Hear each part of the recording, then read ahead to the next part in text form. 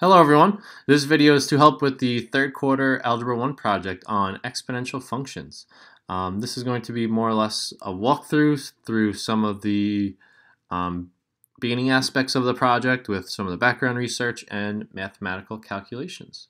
So um, we're going to start, and like I said, it's going to be almost like a mock problem where I'm literally going to be walking through the same steps you guys would be um, when you started or when you do start um, this project. So the first thing that I'm going to do, which would be the same thing that you guys would do first, is actually decide on what car we're going to pick or what car you're going to be investigating for this uh, project. So I'm going to go on carsforsale.com. Um, you get this little drop down of all the different makes um, of the cars that are available. Okay, I'm going to pick Volkswagen.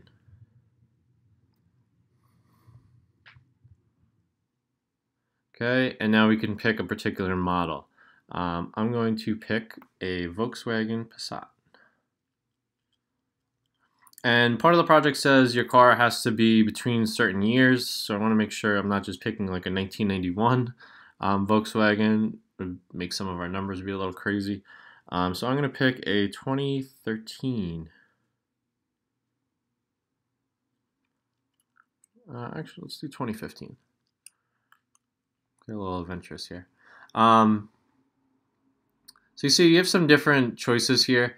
Um, the one thing you do want to be careful of, um, notice here in the middle, we have one that's around 15,000 and one that's almost 33,000.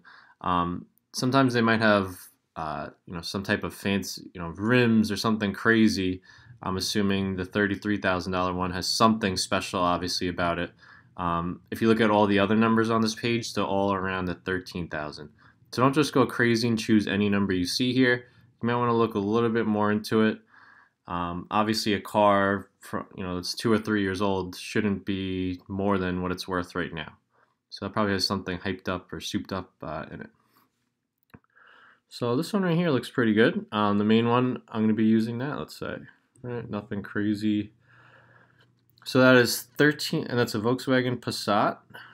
And it's $13,488. See if we can remember all that. Um, so the make was Volkswagen Passat. I think that's how you spell it. Um, and the number one more time was 13488.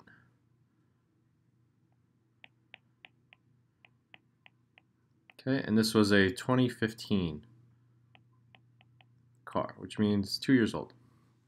Okay, now for the original price. This is where it gets a little tricky.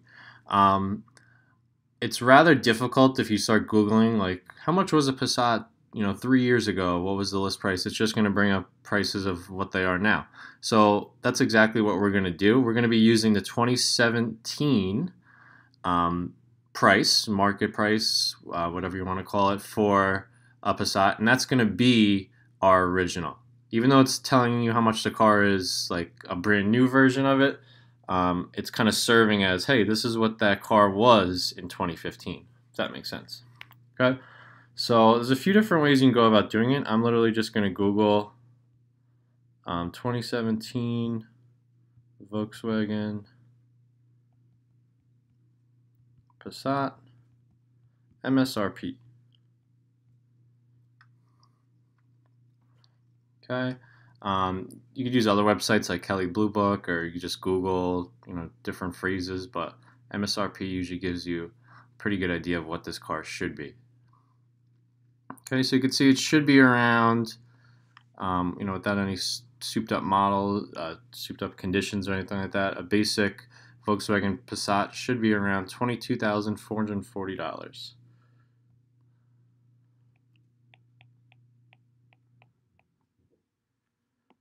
Twenty-two thousand four forty. Okay. Um, so this is how much the car was originally, quote unquote. Um, and now, two years later, it's around $13,000. So obviously, it's dropped almost um, right around $9,000 um, in value in those two years. It's gone down quite a bit. Um, so what we're going to do now is calculate the percent, and obviously this is going down, so we could more specifically refer to it as decay. And to do that, we're going to be using the exponential growth or decay model that we've been using in class um, for different things like interest and that. Um, so um, remember when we use this model, some of the different components we have here. We have um, our principal. That's like your starting, your initial rate. So obviously that's going to be our initial, uh, our original price of the 22,000.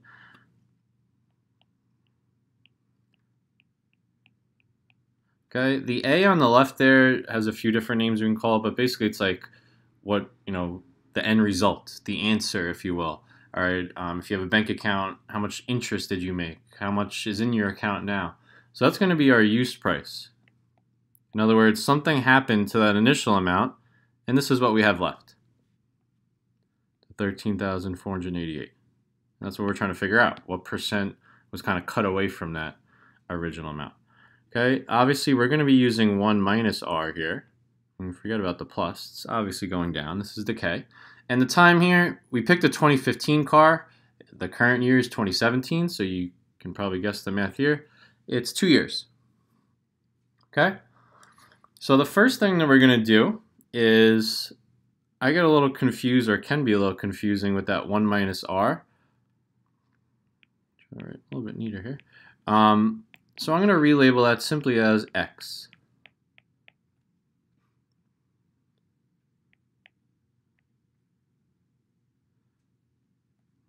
Okay.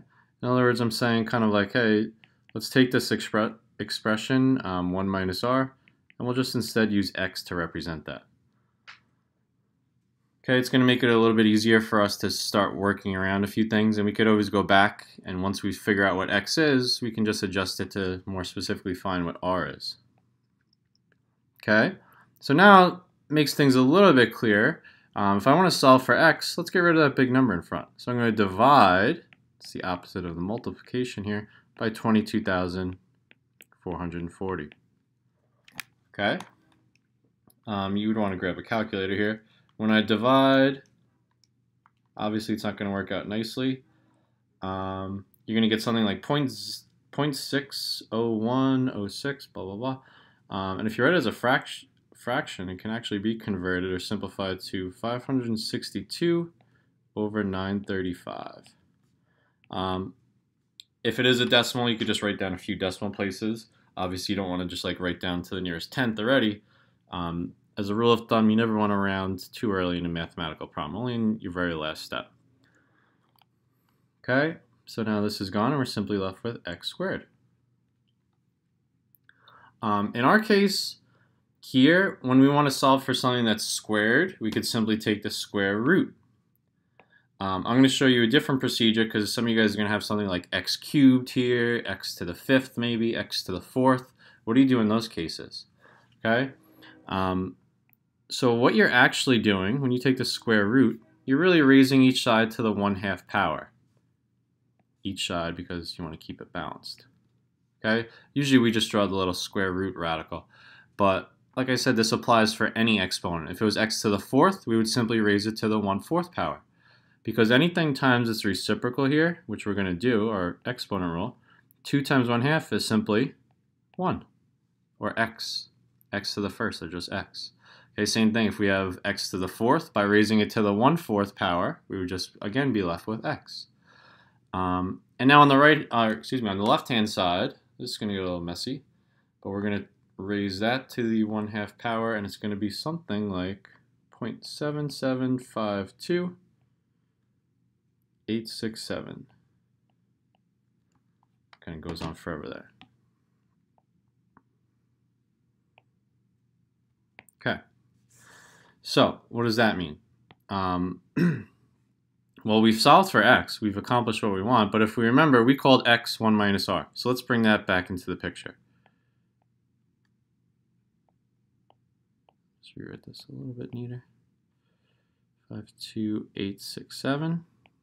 Okay, so now if we want to identify what the rate is, we're simply saying, hey, something was subtracted from 1.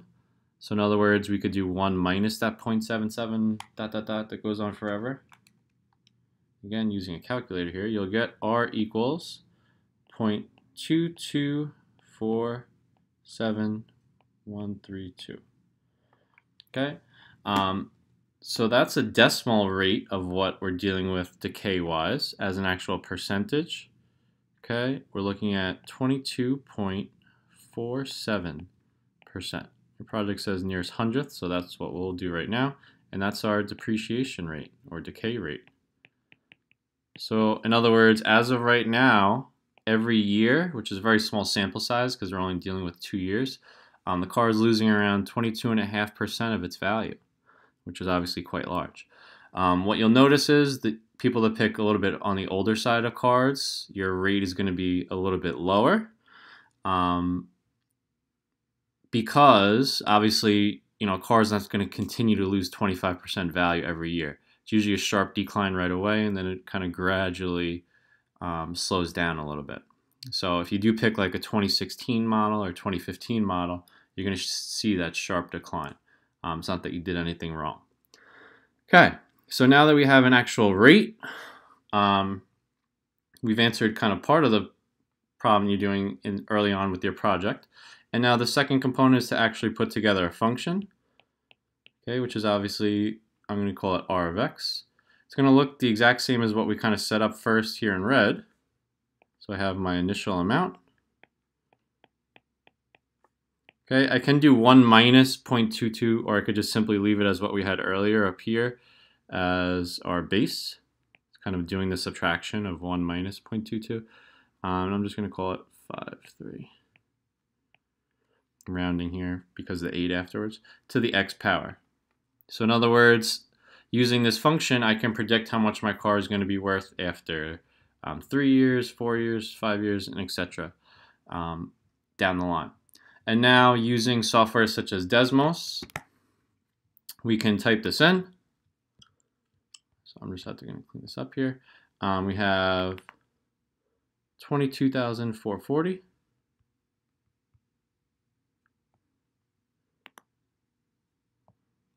times 0.7753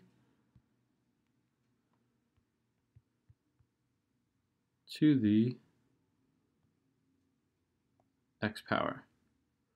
We don't want to forget about the beginning. Okay. Um, now you're really going to have to play around with your scale here. Obviously, look at the numbers we have, 22,000. Um, so you get a good picture here. If you zoom out a little bit further, um, you'll get even a more accurate picture of what you're dealing with. Okay, so obviously you can see the exponential J-shaped curve. Um, and some of the aspects that this project asks you about are the realistic nature of your model. Sure, it works well in the beginning, but if we take a look, does it really make sense that in 50 years your car is worth about 6 cents? Um, probably not. Um, even something that's you know a piece of garbage is worth more than six cents. A plastic can is worth about five cents, right? So these models work good, but obviously there are some limitations when we start using them in big picture predictions. Um, some other aspects from Desmos that you guys know about, we could use the table feature. Um, and I think your project asks you to predict something like um, five years, so you could just change the x value here. 10 years, okay, 20 years, and 30 years. Let's just say those numbers.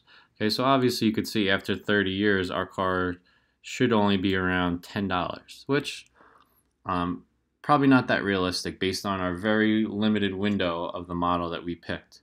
Um, so those are some things for you to consider during the uh, written portion of your project where you can expand upon these results. Okay, hopefully this helped with some of the mathematical calculations um, and Desmos related applications of your project. If you have any further questions, feel free to comment below or send me an email, and I'll try my best to help you guys out with any questions. Okay, thank you for watching.